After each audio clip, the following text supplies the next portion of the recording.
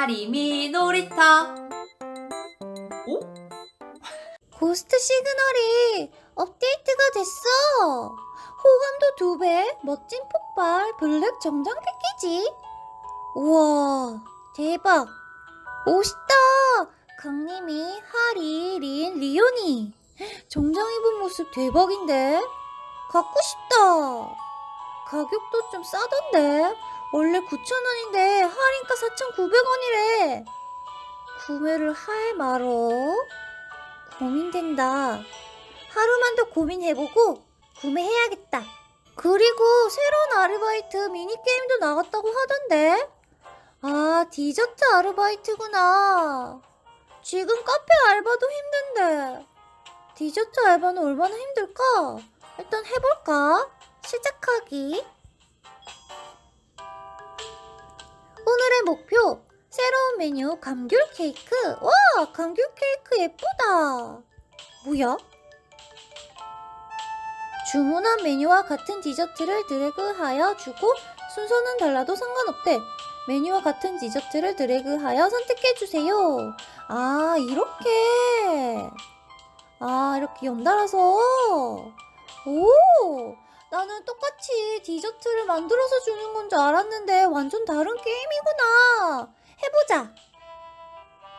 음, 감귤, 이렇게? 오, 쉽다, 쉽다. 카페 알바보다 쉬운 것 같은데? 음, 이렇게? 아무렇게나 해도 되고, 순서는 상관없고. 카페 알바보다 좀 쉬운 것 같아. 회전율도 더 빨라. 어, 의문의 소녀다. 마카롱, 감귤 케이크, 그리고 얘 이름 뭐였지? 까먹었다. 어, 현우도 왔네. 현우도 마카롱. 오! 아싸! 목표 달성했다. 계속하게 해보자. 이거 좀 재밌다. 6일차. 뭐야? 와, 이번에는 3개씩이잖아. 3개씩 하면 좀 헷갈릴 것 같아. 미니는 두 개하고 마카롱 하나. 마카롱 두 개. 어! 아싸! 6일차도 성공했다. 카페 알바 9일차. 쭉쭉 가자. 다음에 골고루 주고 미연이는 이렇게 골고루 손이 골고루 해. 두 개에 이렇게. 오, 5초 남았다. 이렇게 하고 다 우와! 아싸 9일차도 달성했어. 카페 알바보다 쉬워서 디저트 알바는 쭉쭉 잘 간다. 계속해야지. 재밌어. 완전 내 스타일이야. 와, 새로운 메뉴가 생겼다. 초코칩 쿠키. 아, 나 초코칩 쿠키 완전 좋아하는데. 300원 벌기. 카페 알바 11차. 마카롱 두 개에 민트랑 롤케이크. 마카롱 두 개에 민트 초코칩. 아 민트 초코빵. 초코 민트 케이크랑 이렇게네. 다음은 이렇게 현우는 케이크랑 롤케이크 민트 두 개에 초코칩 한 어? 아싸! 벌써 11차 달성이야? 시간 가는지 모르고 했다 계속 해볼까? 근데 나 원도 있나? 아 커피콩 이제 다 썼다 아쉽다 계속 하고 싶다 디저트 알바는 쉬워서 무한 1차까지 빨리 할 수 있을 것 같아. 카페 알바는 너무 어려워서 나는 이제 32일차인데.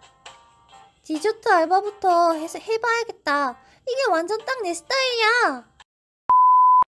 그리고 아참 나 택배 상자 열었는데 마린룩이 나왔어. 대박 예쁘지? 그리고 새로운 에피소드도 업데이트 됐어. 파트 2. 대박이지? 나는 아직 못해. 아직 파트 1도 엔딩을 못 봤다고. 지난 이야기.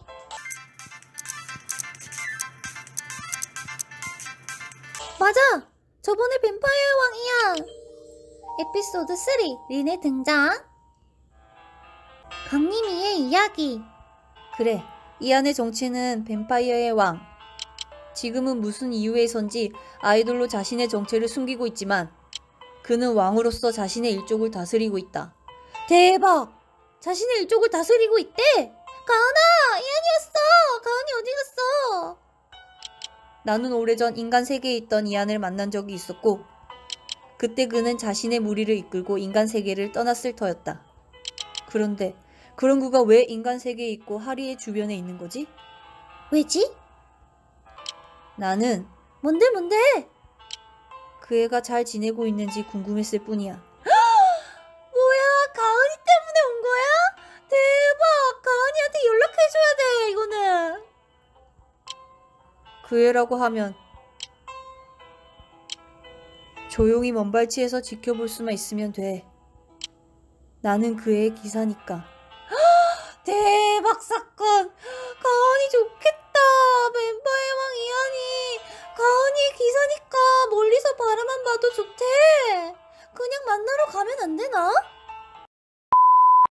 다음 날 V엔터 건물 앞 의문의 소녀가 나타났어 무서워 뭐야 뭐지? 어디를 가리키는 거지? 왜 소리를 질러, 지르지?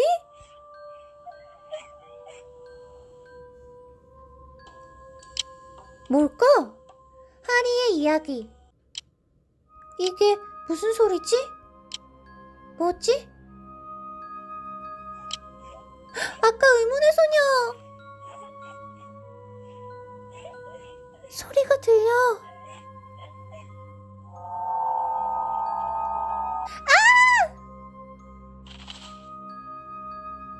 뭐야? 기분 나쁜 소리가 머릿속을 울린다. 온몸에 소름이 돋는 소리. 깊은 어둠에서부터 들려오는 것 같은 울음. 대체 누가 어디에서 왜 이런 소리를? 강림이의 이야기. 헉, 뭘까? 궁금하다. 테마사 최강님으로서 귀신을 만나고 그들을 처치하는 일도 이제는 익숙한 일이 되어버렸다. 갑자기 강한 어둠의 기운이 온몸을 지배하는 것을 느꼈다. 당장이라도 정신을 잃을 것 같은 고통이 밀려왔다. 몸에서 뿜어져 나오는 어두운 기운은 다시 내 몸을 감싸며 숨을 죄어왔다. 이 고통, 이 고통은 분명히 내가 잘 알고 있는 고통이었다. 정신 차려! 어떻게 해서든 이겨내야 해! 설마 흑화? 그렇지 않으면 뭐야? 이야기. 번화가. 하리야, 강림아!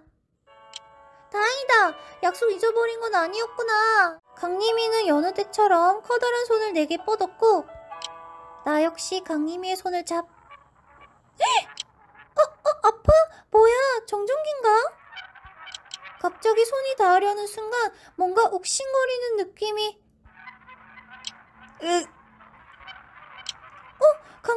왜 그래? 아, 아무것도 아니야. 손은 어때? 괜찮아. 정전기였나봐. 아, 하리야, 우리 피자 먹을까? 갑자기 강림이가 말을 돌리는 것 같은데? 강림이 조금 아파 보였는데. 뭐 괜찮겠지. 정전기 정도야. 피자? 피자 완전 좋은데?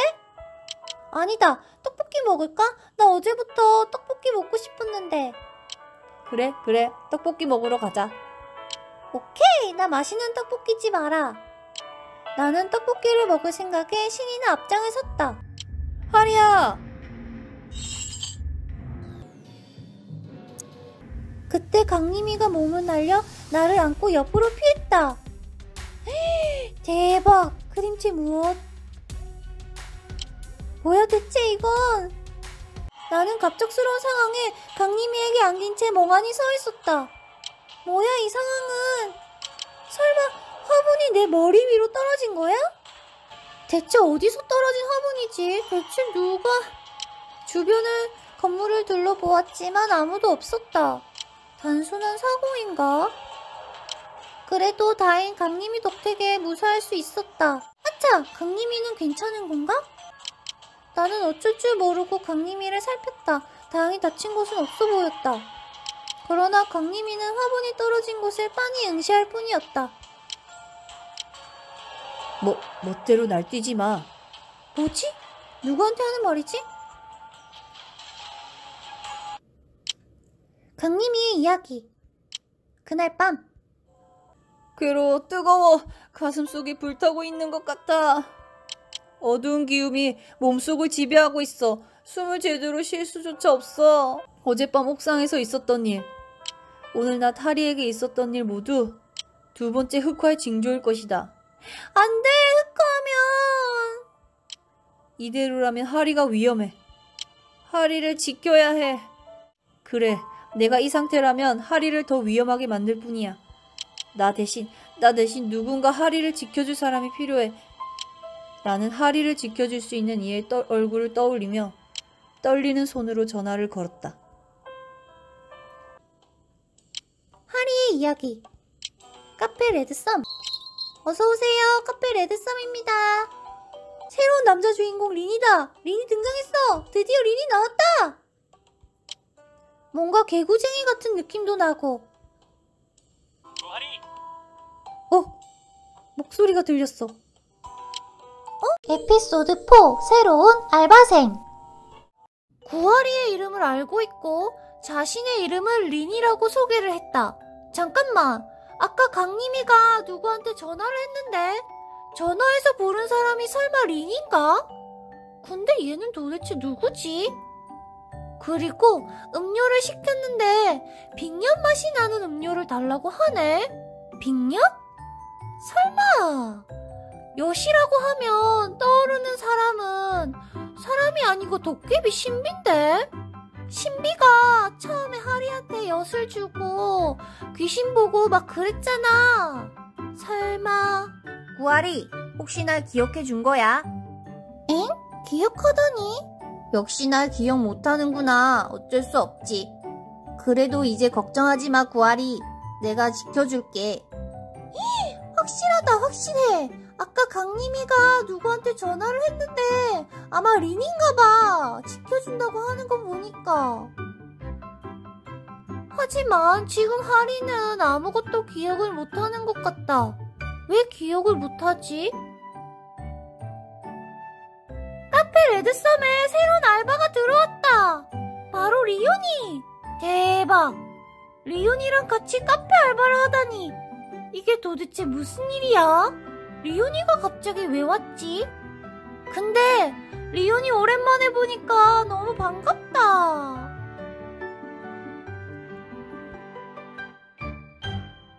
리온이의 이야기 며칠 전 뭘까? 비밀 테마 집단 아이기스 임무 때문에 한국으로 온 거였구나. 일이 끝나자마자 하리를 만나러 간다는 리온이. 어, 어떡해. 힘들어 하는 강림이를 봤다. 리온이가. 너 어떻게 된 거야, 그 모습? 설마, 흑화? 하리에게 말하지 마. 하리에게 말하지 말라고? 예전에도 이것 때문에 하리를 위험하게 했잖아. 예전에도 괜찮았고, 지금도 괜찮을 거야. 그는 그렇게 내 조언을 무시하고 비틀거리는 걸음으로 지나갔다. 설령 만에 하나 그가 정말 흑화하게 된다면 내가 그를 테마하게 되겠지. 안 되는데. 귀신을 쫓던 자, 결국 귀신이 되고 만다. 설령 한 번은 막았더라 하더라도 두 번째는 없어. 흑화가 어느 정도까지 진행됐는지 자세히는 알 수 없지만 아마 이제 막 시작된 것으로 보인다. 그렇지만 이대로 점점 흑화가 심해지면 하리가 위험해질지도 몰라. 에피소드 4 종료? 대박. 린이 갑자기 빅엿 음료를 시키고 리온이가 갑자기 새로운 알바로 오고 강림이는 두 번째 흑화까지? 도대체 이게 다 무슨 일이야? 그리고 의문의 소녀, 넌 누구니?